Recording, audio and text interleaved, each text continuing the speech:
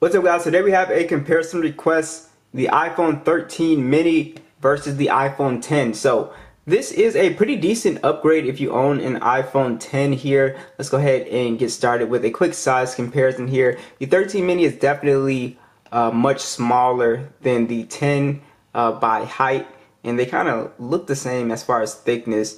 But um, if you do want a phone that is going to be smaller, you know, feel lighter, uh, then the 13 mini is definitely the way to go. Um, let's go ahead and boot this up.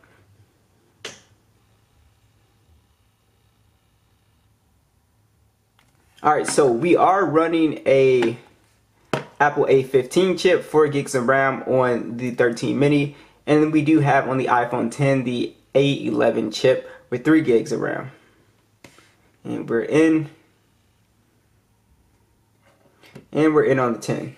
Alright, so we are going to be testing out app speed, uh, RAM management, and we're going to be looking at side-by-side -side steals. Before we do that, let's open up Geekbench. And we can look at our scores here. So both running iOS 15, which is awesome. We can see we almost get a 5,000 score on the multi-core versus the 2,000 score on the 10. So we are getting a pretty big jump in both the single and multi-core here. Open Subway Surf.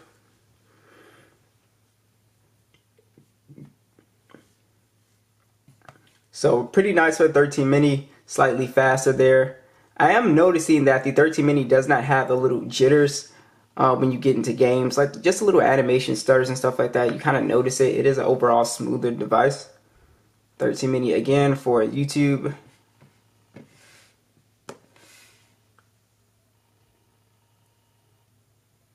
So to me, it's not super fast, but it is a little bit, it's a little bit faster, but also very much pretty smooth. So you're not going to see that animation stutters like you would see on the 10.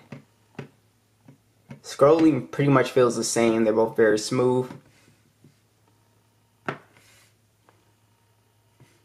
That was very close.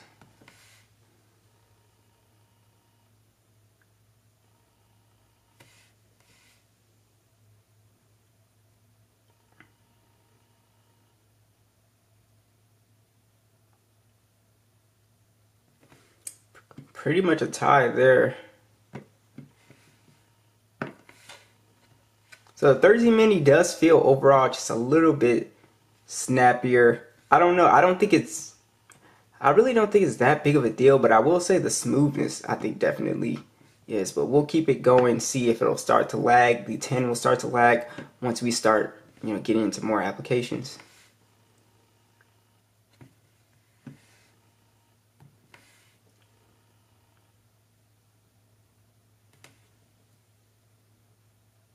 Boom.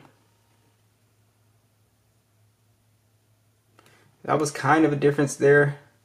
Nothing crazy, but noticeable.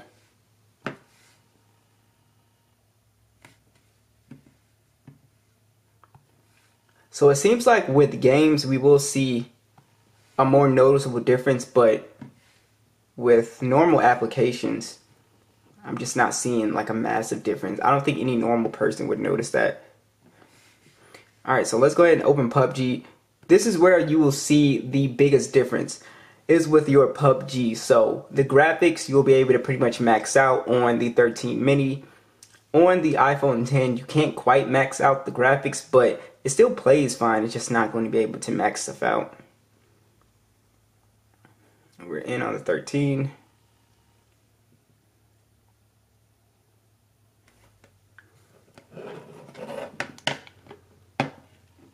All right, so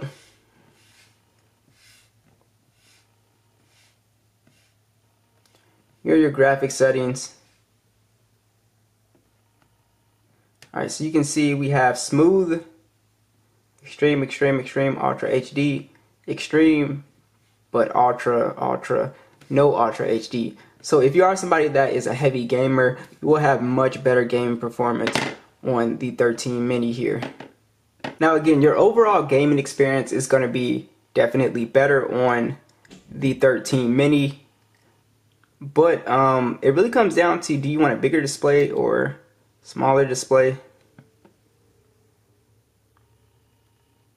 No snap.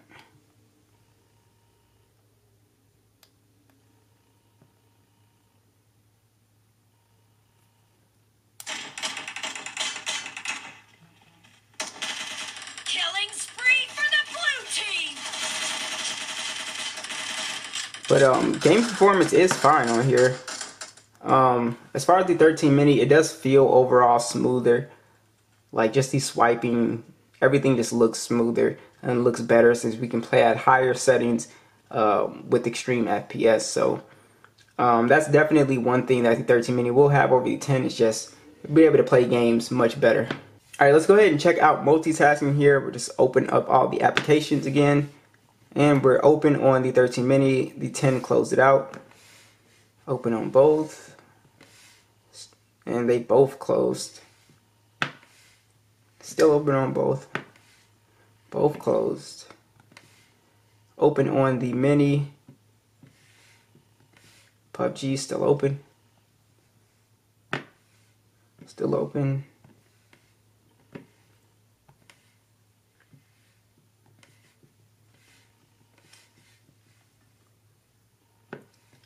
And the 10 is still you know fairly smooth here. It's not like lagging all over the place. So the 13 mini is going to be able to keep i, I believe it kept like um, two more applications open and the mini or the uh, the 10 closed two applications. And this kind of freaked out. Okay that's open. Uh, so not bad at all. So the 10 was able to keep up and only closed two uh, applications out all right, let me go ahead and play you guys the speakers, both max volume, both stereo speakers. Start with the mini.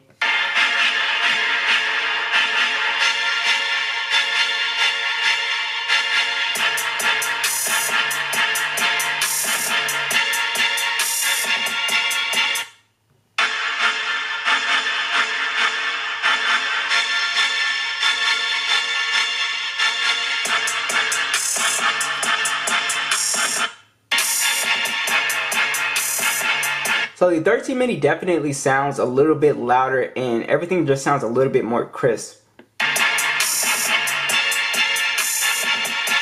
But it's not by much. It's not a dramatic difference. So the 10 does have a very good speaker setup.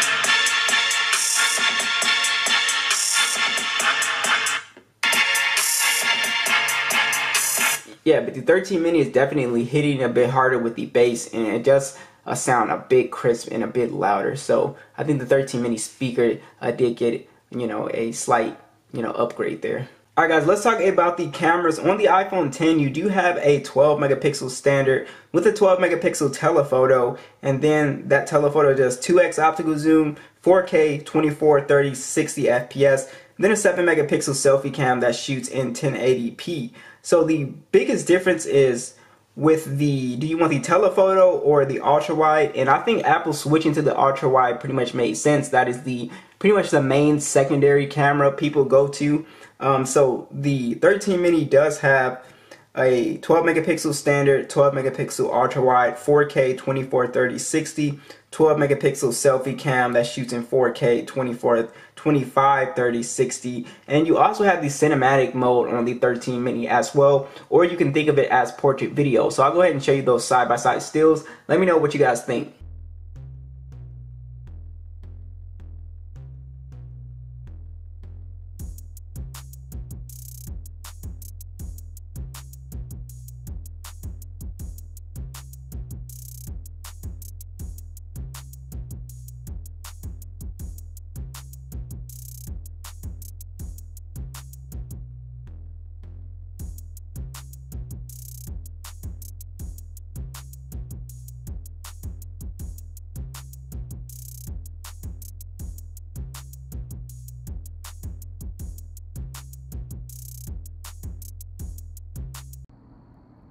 Here's the 13 mini.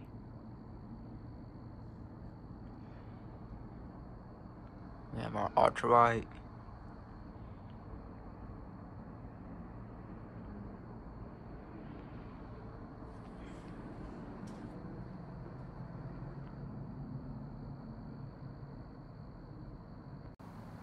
Here is the 10. We have our telephoto lens on here.